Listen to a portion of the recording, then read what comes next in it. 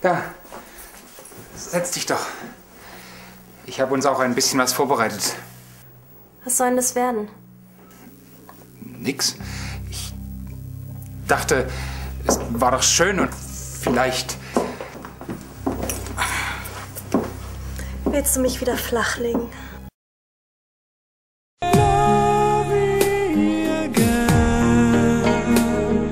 Love me again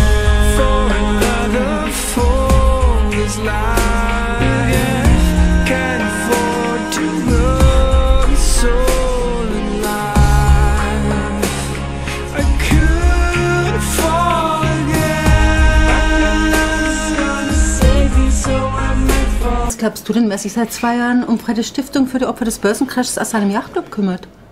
Nur weil ich einen wohlhabenden Mann geheiratet Es habe. waren drei wohlhabende Männer, Papa hatte auch zwei Frauen. Weil die erste ihn wegen eines Dattelimporteurs verlassen hat. Da hat er doch schon seit zwei Jahren ein Verhältnis mit seiner um 30 Jahre jüngeren Zugefrau. Lass meine Mutter aus dem Spiel. Immerhin hatte meine Mutter den Mut, ihr Leben zu ändern, anstatt sich umzubringen. Das Haus in der Schweiz, hat er das eigentlich vermietet?